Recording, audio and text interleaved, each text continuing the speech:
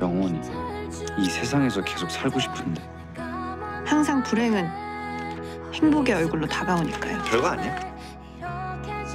깔끔하게 무시하자. 친구 안 할 거예요. 선배의 결말은 뭐예요? 근데 지웅아, 왜 나 안 봐? 형이 연수 누나랑 또 만난다는 게 이해가 안 돼. 자주 싸우고 헤어지는 커플일수록 너 뭐하냐 국연수?